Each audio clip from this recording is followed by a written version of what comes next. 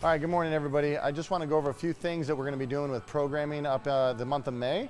Uh, kind of go over the test week a little bit, some stuff you'll be noticing in strength, uh, and uh, stuff to be looking for uh, for the workouts coming up. So, for strength work, what we're going to be doing at the end of every EMOM, you're going to be doing a max rep set.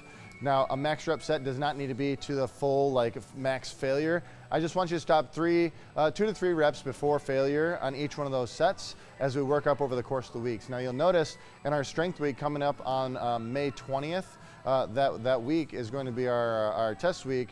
For the strength work, I want you to, we're going to be working up to an 8 rep max this time instead of a 10 rep max at 80% like normal. The overall goal of that is to get ourselves down to our board numbers more of a true one rep max versus uh, a theoretical 10. Okay, so you'll notice in the coming months we're to go 10, 8, 6, 4, and then 2. Uh, each month we'll test a little bit more. So the weights, if you're changing them on your board, may look like they're going down, but they're getting more to a true one rep max versus that theoretical 10. All right.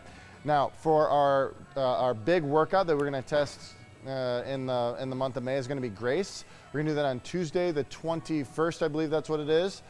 Um, so come ready, be prepared for uh, doing grace. We did double grace last month to kind of prepare you for regular grace on that Tuesday. Now, another thing, note, Memorial Day. Memorial Day is the 27th. We will be doing Murph on Memorial Day, so be on the lookout for that. If you have any questions, comments, or concerns on programming, please feel free to reach out to me. It's jeremy at 2020.fitness. Thank you.